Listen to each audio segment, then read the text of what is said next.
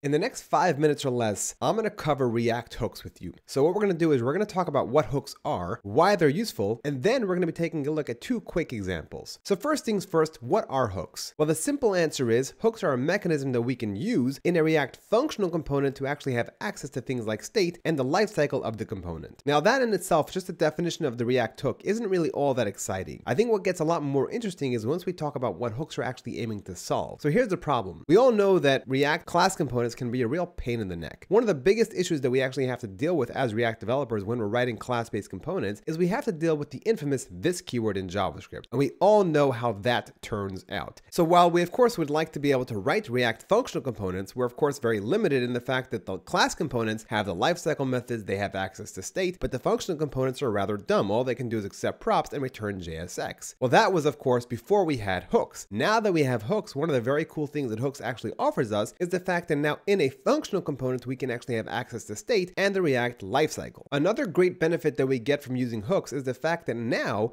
with hooks, it's a lot easier for us to actually share logic between our components. Previously, the way that we'd have to actually achieve this was to either use something like a render prop or a higher order component, both of which work really fine and are great patterns, but are slightly more complicated and can get rather messy. With hooks, this becomes a lot, a lot simpler. So right now, what I'm gonna do is I'm gonna show you two quick examples of how we actually use hooks. So let's take a look. Okay, so on screen right now, we actually have the first of the two very simple examples that I'm gonna be showing you using hooks. And of course, this is a code sandbox, the link to which you can find down in the description description box below. So here's a very simple example. What we're going to do is we're going to have a functional component and the functional component is going to have a button and every single time you click on that button, it goes ahead and increments the number. Let me show you how we do this now using hooks. We're going to be importing use state. So this is going to be a built-in hook that's kind of already provided to us by React. We could of course go and create our own custom hooks, which we'll see in a second. But for now, what we're going to do is we're going to be using one of the actual built-in hooks that are provided to us by React. And this one here is called use state. So here's what happens. Inside of our component, you can see we have a simple app component. And then inside of our component on the first line, what we're doing is we're going to actually go ahead and use this use state hook. We're going to initialize the initial value of state to zero. And then we actually are going to be getting these two variables. So the first variable is called counter, in which case this is going to be our actual state. And then we have the corresponding updater function, which we're going to be calling set counter. So effectively, if you want to update the value of counter, you're going to be using the set counter function to do so. And then the rest of it is all rather simple React stuff that you're already very familiar with. Here we have a simple h1 that's going to go ahead and render whatever the value of counter is, which at the moment is three. If I refresh this browser, you'll see that it's going to be initialized to zero as it is specified right here. And then we have a button, which every single time that we're going to go ahead and click on this button, we're going to be calling the set counter